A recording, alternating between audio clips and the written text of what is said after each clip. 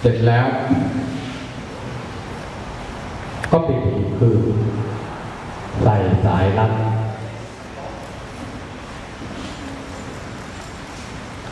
แล้วก็สี่รอบเซ็นชื่อกำกับเหมือนเดิม แต่เป็นหีบเปล่าในขณะเดียวกันก็เอาแผ่นป้ายสำหรับปิดช่องหย่อนบัตรเนี่ยปิดด้วย แล้วก็เซ็นชื่อในในในแผ่นป้ายตรงนั้นด้วยนะครับ พอถึงเวลา 8 โมงนะครับ ประธานกรรมการก็ประกาศให้คนที่อยู่ณที่นั้นได้ทราบว่าบัตรนี้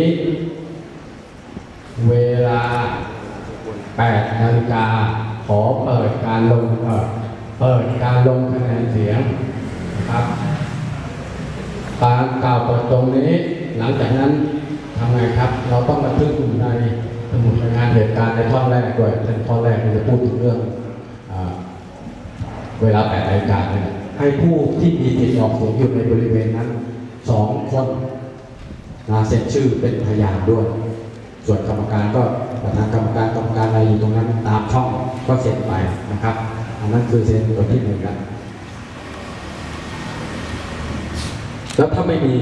ไม่มีคนดูเลย ยังไม่มีคนมาขอใช้สิทธิ์ในอยู่บริเวณนั้นทั้งคน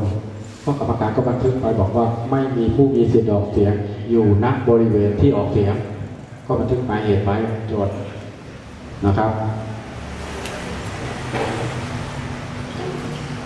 ทีนี้เรื่องการ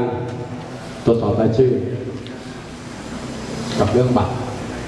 นะครับ พอคนมาปั๊บก็บอกให้ไปตรวจสอบอยู่ที่ป้ายนั่นแหละนะครับ มีชื่อไหมมีชื่อลำดับที่เท่าไหร่ก็ให้จำไว้ นะครับ ให้เขาจำมาแล้วจะได้มาบอกเรา แล้วก็ให้เขาเตรียมบัตรประชาชนด้วยนะครับ เอาพูดถึงบัตรก่อน บัตรประชาชน ทุกรุ่นทุกยุคทุกสมัย รวมทั้งบัตรที่หมดอายุแล้ว รวมทั้งบัตรรุ่นที่มีเลข13หลักหรือไม่มีก็ช่างใช้ได้หมด ถ้าบัตรอย่างอื่นต้องเป็นบัตรที่ทางราชการออกให้นะครับ หรือหน่วยงานของรัฐออกให้ จะไปเอาธนาคารกรุงเทพบัตรประจำตัวธนาคารพนักงานธนาคารไม่ได้นะครับ หน่วยงานของรัฐเท่านั้น แต่ว่าบัตรตรงนั้นต้องมีสองอย่างหนึ่งมีรูปถ่ายสองมีเลขสิบสามหลัก คือเลขประจำตัวประชาชนอย่างนี้ใช้ได้ใบขับขี่ก็ใช้ได้ใบขับขี่รุ่นเก่าไม่มีนะมันมีเลขสิบสามหลักใช้ไม่ได้นะ แต่รุ่นใหม่มันมีหมดแล้ว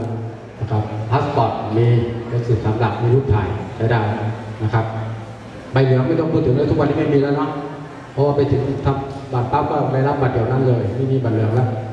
แต่ถ้ามีบัตรเหลืองรุ่นเก่าหมดอายุก็ใช้ไม่ได้หมดอายุใช้ได้กรณีเดียวคือบัตร